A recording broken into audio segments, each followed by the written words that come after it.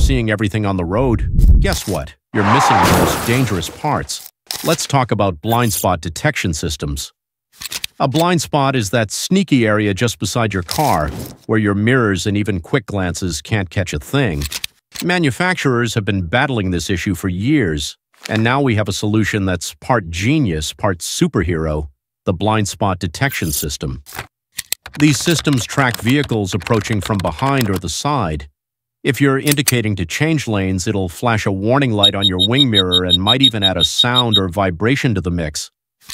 With 180 degree coverage, the system uses ultrasonic or radar sensors, much like a bat detecting obstacles. And yes, even bicycles and motorbikes can't escape its radar.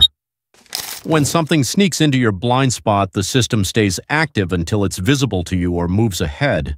Whether it's for lane changes or overtaking, it's got your back. Some systems also go the extra mile with features like rear traffic alerts keeping you safe even when reversing out of tricky spots. Pair it with tech like adaptive cruise control and parking sensors, and you're looking at the future of driving safety. It's not just a feature, it's peace of mind. With demand skyrocketing globally, Europe leads the pack.